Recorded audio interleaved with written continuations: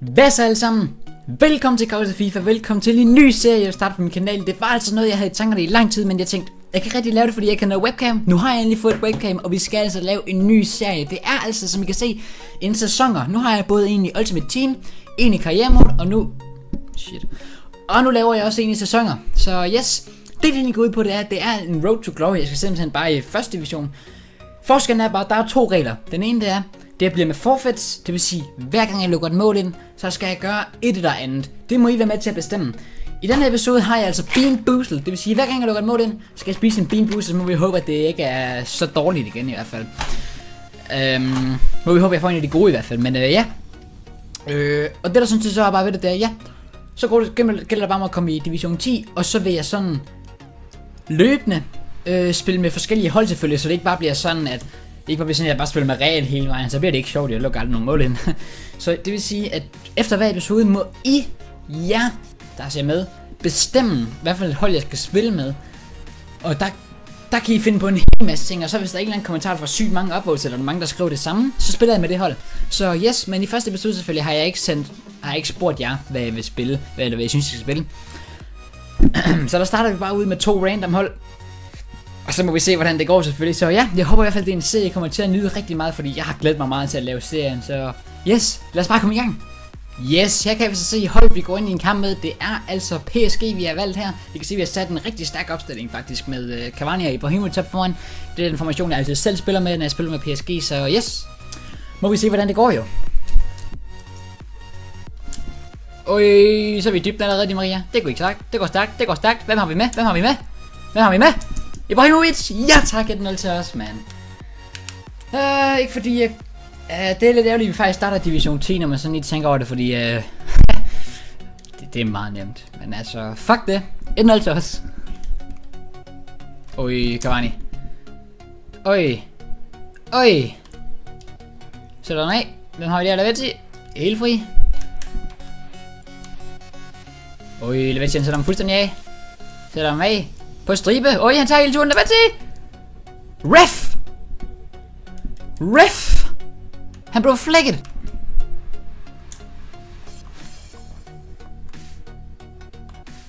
Come on. Ikke hvordan der. Væk! Oh my god, nej, nej, please. Hvad fuck laver mit forsvar? Oj, oj. Spil til Cavani. Oj, Cavani! Ind i banen, skyd for helvede! Åh, oh, fuck. Ja, fuck se. Du har den, målmand. Sådan der, målmand. Sigur, du kraften stærk. Hvorfor har jeg egentlig ikke trap ind? Nå, fuck det. Sigur, stadig stærk. Nej, du stod godt, Sigur. Det må vi hjem. De må med høje ben. Oh! Booyah! Ibrahimovic, mand. Sjololo. Sjololo. Hold kæft, det er vildt sparket, de Maria med højre ben. Der så Ibrahimovic. Iskold hætter den 2-0 til os. Væk. Fuck.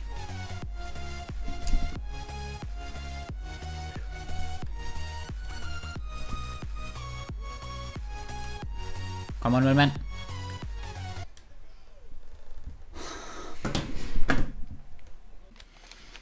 Okay, vent lidt. Kigger ikke?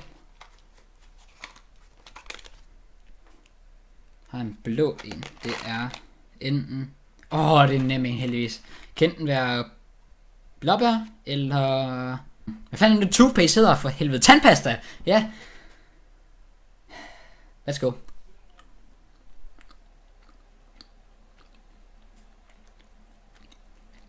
Mm, blåbær. Mm, den er faktisk god. Nej. Målmand! Please! Fucking... Sådan der. Ja tak. Ja tak. Vi vinder 2-1, mand. Hold kæft, det blev meget mere spændende, end jeg troede i hvert fald. Jeg troede, det bare var sådan, at jeg absolut skulle sikkert hjem den her. Nej, nej, det... Det var det ikke lige før, men øh, men der er stadig 2-1. I'll take it. PSG mod Bayern. Det er okay selvfølgelig, så... Ja. Yeah. Ja, jeg kan jo se på statsene, det var fuldt fortjent også, jeg så yes! Helt andet. Øhm, men øh, vi lovede godt nok et mål ind, men heldigvis så var det altså en god bean. Jellybean, som vi fik, så I'll take it, men øh, yes, jeg skal ind i næste kamp. Yes, jeg går vi altså ind i anden og sidste kamp i den her episode. Vi har altså valgt selveste Roma, og vi kan se, at vi har et fint hold her. 4-3-3 offensiv med lidt øh, pace op foran og så videre. Så det er faktisk, rigtig, faktisk rigtig, rigtig, rigtig godt hold rummet her. Og Pjanic 87 rated. What the fuck? Men altså, øh, rimelig sindssygt, så yes. Lad os bare gå ind i en kamp.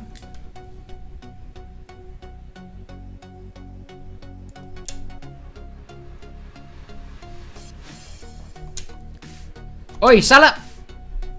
Mm. Oj, han stadigvæk. Oj! Come on! Skyd nu for helvede! Skyd, mand! Yes! Haha, til os.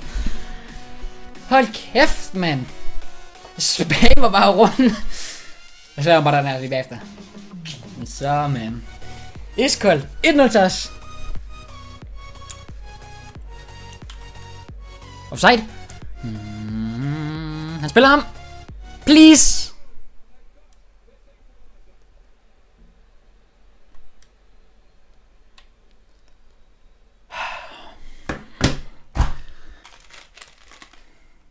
Okay, vi har den her. Det kan være noget stinkende sokker eller tutti frutti. Er det det? Er det det her, der er den her? Eller er det den? Nej, jeg tror, det er den her, der er enten er barf, hvad end det er. Eller peach. Oh god.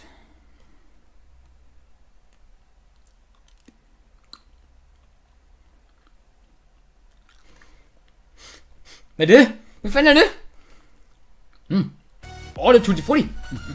Eller hvad er det? Det smager i hvert fald godt. Fedt, mand. Åh, kæft, jeg er det heldig. Jeg ved ikke. Det smager ikke dårligt på den måde. Jeg, kan, tror bare, jeg tror bare, jeg kan lide det. Jeg tror, det er peach. Åh, oh, nej. Så er det pis.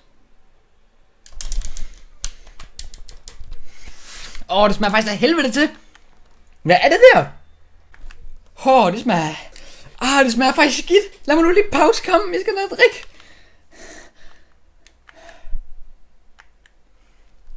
Please. Åh! Oh, Tag du pis, mand? Fuck af, mand. Åh, oh, god. Hmm, hvad har vi her? Mm-hmm, hvad er det her? Det ser ud til at være... Øh, bussemænd eller pære. Mm. Mm-hmm.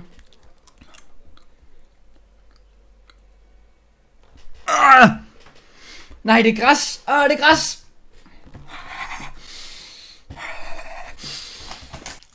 Åh, oh, det var slemt.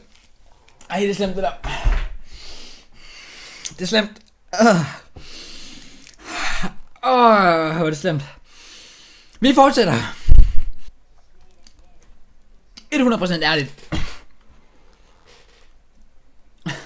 Jeg har set mange lave de her challenges før.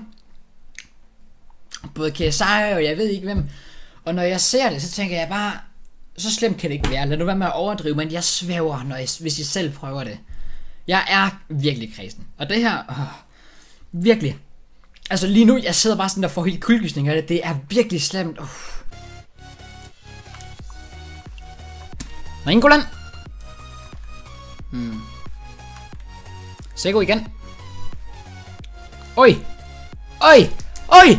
Oj. Sego. Sego. Jeg spørger bare, hvem fanden er Messi? Tego, det er mine damer her. Det der, det er hvad jeg kalder skills. Ja tak, mand.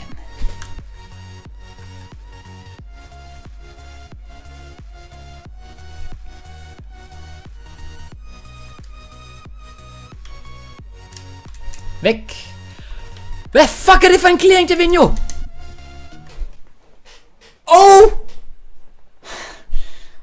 my god, Javinho, hvad laver han? Den falder lige til fødderne på mig, og så spiller han... No, my, nej, nej.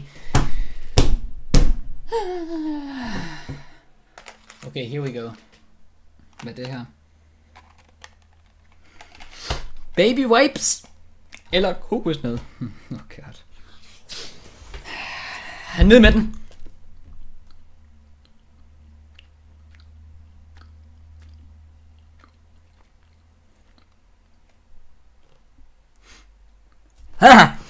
Oh my.